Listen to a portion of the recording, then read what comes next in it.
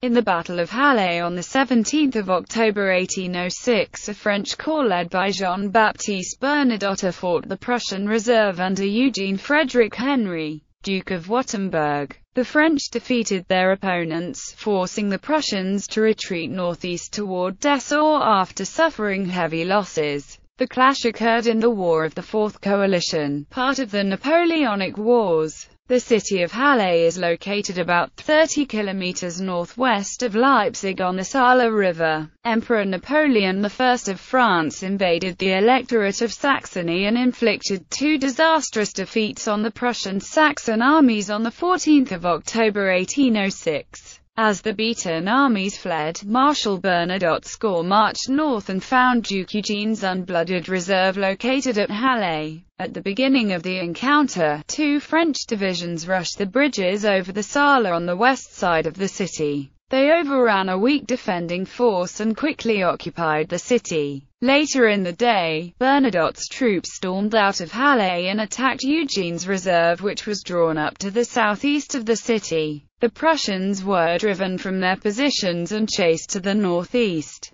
While this engagement was going on, Bernadotte's 3rd Division surrounded and captured a Prussian regiment isolated on the west side of the city. One of the few intact Prussian forces west of the Elbe River was now crippled. Background Political Napoleon's decisive victory at the Battle of Austerlitz on 2 December 1805 profoundly affected the balance of power in Europe. After this event, Emperor Francis I of Austria sued for peace and Tsar Alexander I of Russia withdrew his crippled army from Austrian territory, ending the War of the Third Coalition. Prussia was caught at a diplomatic disadvantage since her emissary Christian Graf von Haugwitz was on the point of delivering an ultimatum to Napoleon when the war ended, a fact which the French emperor was well aware. In February 1806, Napoleon pressured a cowed Prussia into handing over several territories to France and her allies in return for the state of Hanover, which was under French occupation. The agreement pushed Prussia into a break with Great Britain whose king was the Hanoverian elector. Napoleon began to remake the face of Europe.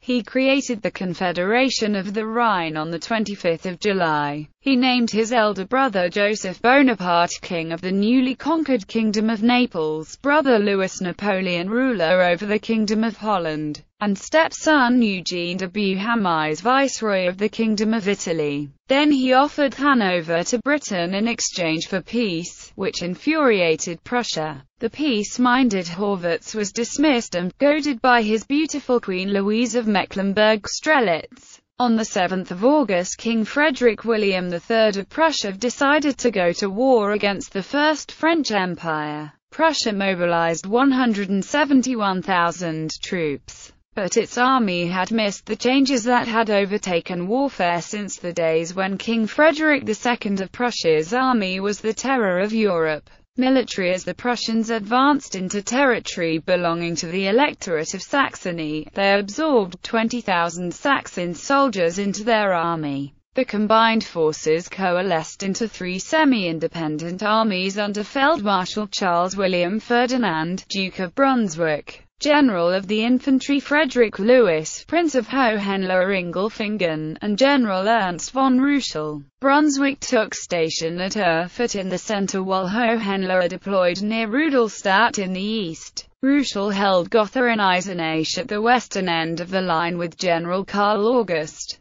Grand Duke of Saxe-Weimar Eisenach's division probing south toward Meiningen and the French line of communications. Eugene of Württemberg's reserve was well to the north at Magdeburg. On 8 October, Napoleon launched 180,000 troops across the Saxon frontier. His troops were massed in a battalion carré made up of three columns of two army corps each, plus the Imperial Guard, the cavalry reserve, and a Bavarian contingent. On 9 October, the leading division of Marshal Bernadotte's First Corps and Marshal Joachim Murat's cavalry forced Boguslav Friedrich Emanuel von Tauentzien's division into a withdrawal in the Battle of Schleiz. The next day, Marshal Jean Lannes's Fifth Corps attacked the 8,300-man division of Prince Louis Ferdinand of Prussia at the Battle of Saalfeld. The young prince was killed and his division took to its heels after the drubbing it received. Napoleon became convinced that his enemies lay near Erfurt, so he ordered his battalion Carré to make a left wheel on the 12th of October. The Prussian generals opted to fall back. Brunswick was to take the main army north from Weimar to Merseburg, while Hohenlohe protected the move by standing on the defensive near Jena. Ruchel's orders were to hold Weimar until Saxe-Weimar returned with his division. On 14 October, the double battle of Jena-Auerstedt occurred as Napoleon attacked Hohenlohe while Brunswick ran head-on into the Third Corps of Marshal Louis Davout. Both Prussian armies as well as Ruchel's corps were driven in rout from the two battlefields. Brunswick's army suffered 13,000 casualties and its commander was mortally wounded, while the combined forces of Hohenlohe and Ruchel lost as many as 25,000. When Davout marched from Naumburg to Gloria at Auerstedt, Bernadotte refused to join his fellow marshal despite positive orders to do so. Instead, he executed an earlier set of orders to march to Dornburg and missed the fighting at both Jena and Auerstedt.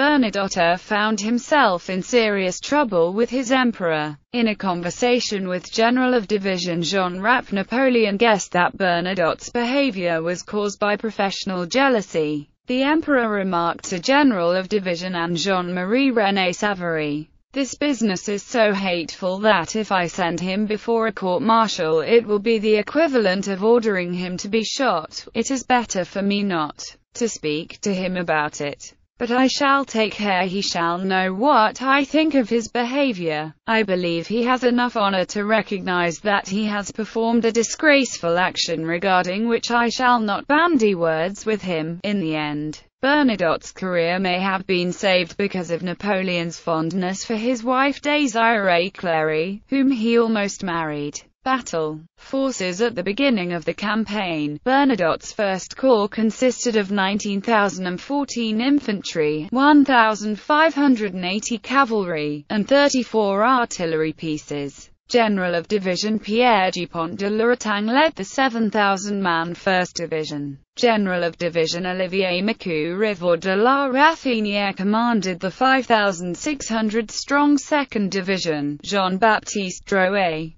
Comte d'Erlon headed the 5,800-man 3rd Division. General of Brigade Jacques-Louis François de Laisted Tilly commanded the Corps Cavalry Brigade. General of Division Jean-Baptiste Eblé commanded the Corps Artillery Reserve. The 1st Division consisted of General of Brigade Marie-François Rouyer's 9th Light Infantry Regiment, three battalions. General of Brigade François-Marie Guillaume Legendre d'Harvesse's 32nd and 96th Line Infantry Regiments, two battalions each, and two foot artillery batteries of 12 total guns. The 2nd Division included General of Brigade Michel Marie Pacthod's 8th Light Infantry Regiment, two battalions. General of Brigade Nicholas Joseph Maison's 45th and 54th Line Infantry Regiments, two battalions each, and one horse and one foot artillery battery of 12 total guns.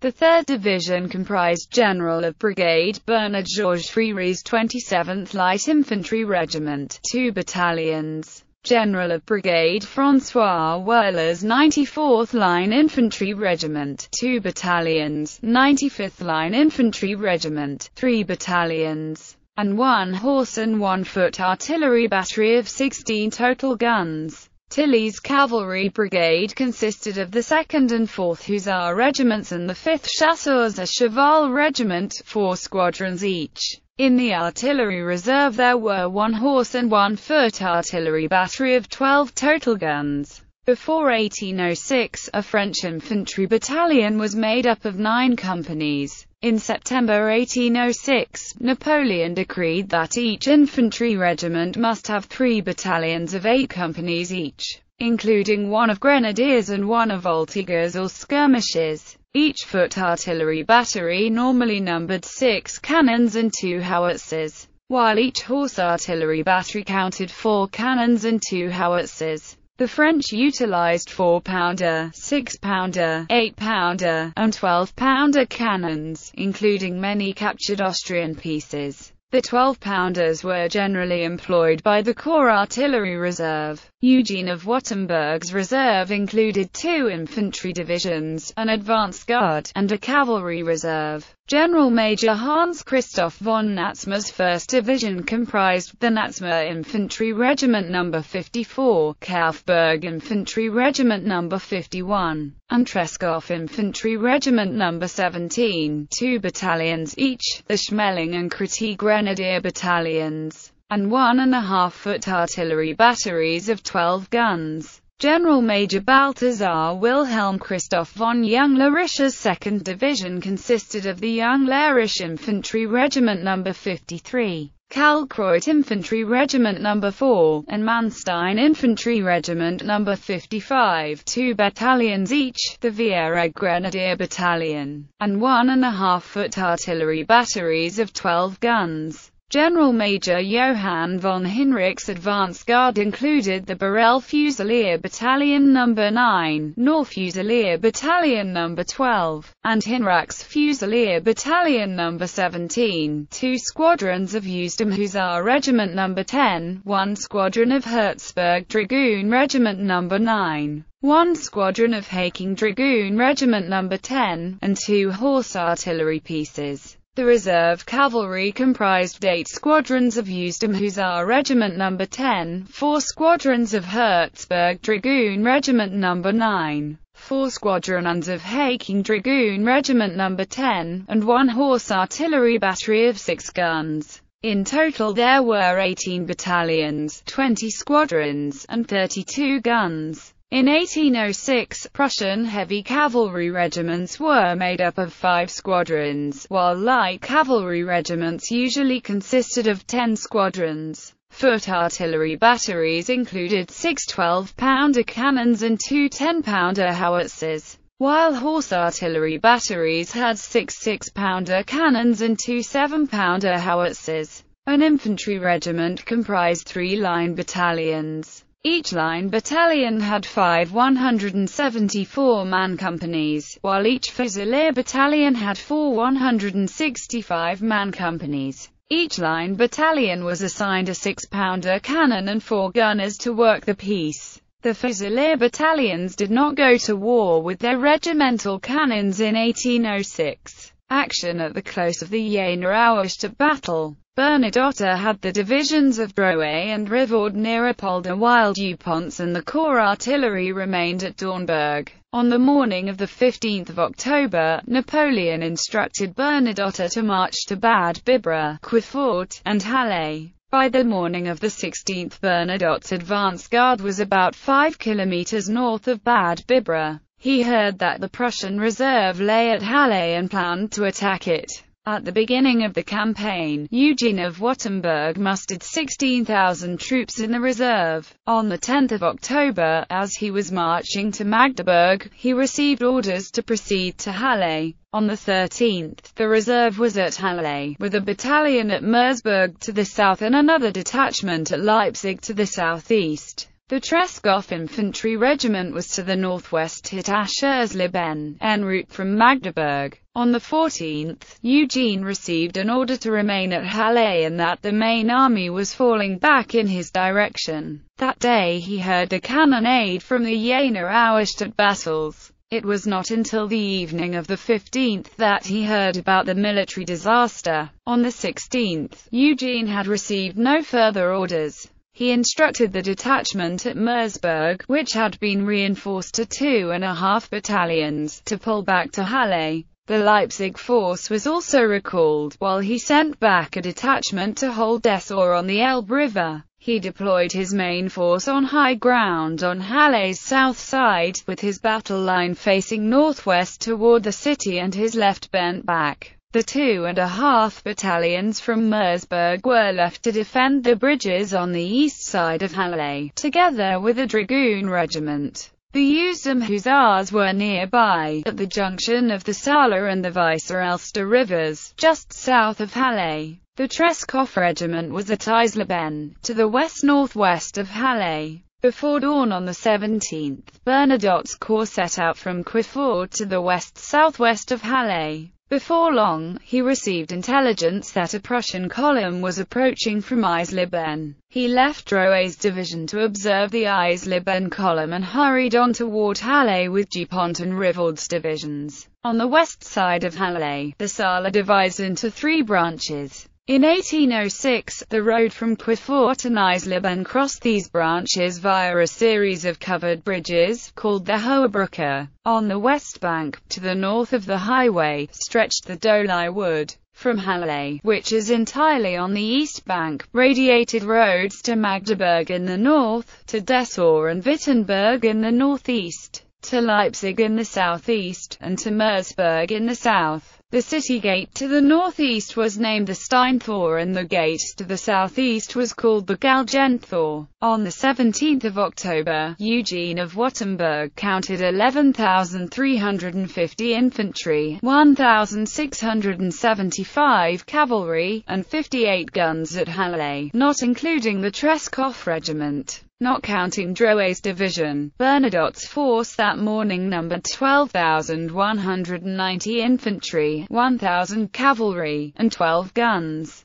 Beginning at 8 a.m., Bernadotte's advance guard pressed back the Dragoon regiment from Passendorf on the west bank. In response, Eugene sent four infantry companies and two guns to support the Dragoons. Five more companies with four cannons defended the first island in the Saale. About this time, Eugene belatedly started his wagon train back toward Dessau. Fearing that the French were at hand, the teamsters panicked and fled up the road, abandoning many wagons. Bernadotte determined to attack at 10 a.m. Holding back his cavalry in the 96th line, he sent Dupont's 32nd line charging for the bridges with one battalion of the 9th Light and three guns in support, racing along the embanked road in columns and flanked by skirmishers. The French punched through the defenders to seize the first bridge and the island. The Prussians' foot soldiers on either side of the road were cut off from the bridge and became prisoners. Those dragoons who did not pull back in time were forced to swim across the river. In less than an hour, Dupont's troops captured all three bridges and General von Hinrichs. They burst into the town, overwhelmed a Prussian battalion in the marketplace, and chased a second battalion out the Steintor. Rapidly, Halle was occupied along with both the Galgenthor and Steintor. Here the French paused to wait for the rest of Bernadotte's corps to appear. Deployed southeast of Halle, Eugene found himself in an awkward position with his line of retreat to the north stretching past the east side of Halle.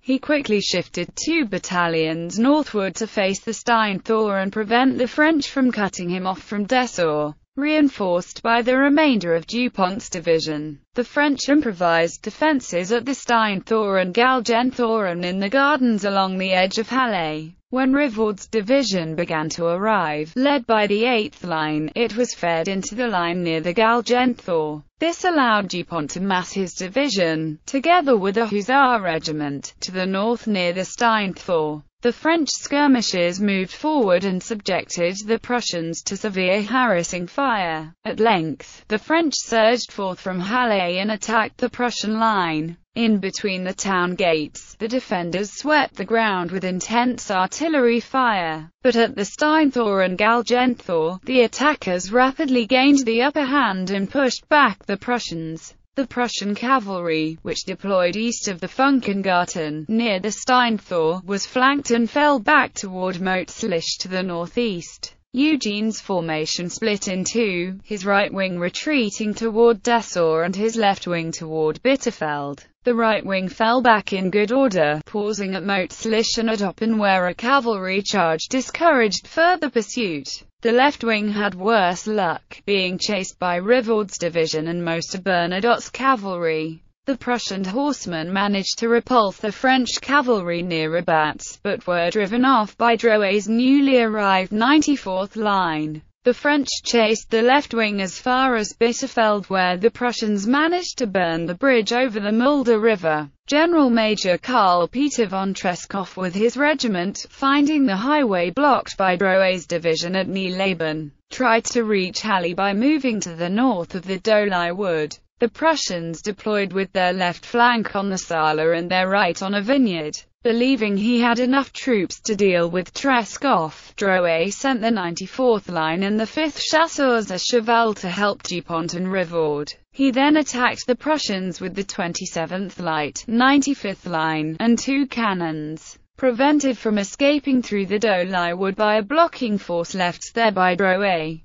Tresckow retreated north along the west bank in two battalion squares. Near Kröllwitz, the Prussian force fell into confusion as it crossed a marshy area and lost all of its cannons. Soon after, Drouet pounced on the hapless Tresckow regiment and forced its surrender after inflicting 200 killed and wounded on it. Result the Prussians reported 13 officers killed, 26 wounded, and 74 captured. Altogether, about 5,000 Prussian soldiers were killed, wounded, or captured. Four colors of the Tresckow regiment and 11 guns were captured, along with many battalion pieces. Bernadotte admitted about 800 killed and wounded. Historian Digby Smith writes that Eugene of Württemberg dallied far too long in Halle. Francis Loraine Petre faults Eugene's defences, half-hearted and disjointed, and writes that his defensive position south of Halle was badly chosen, with its line of retreat exposed.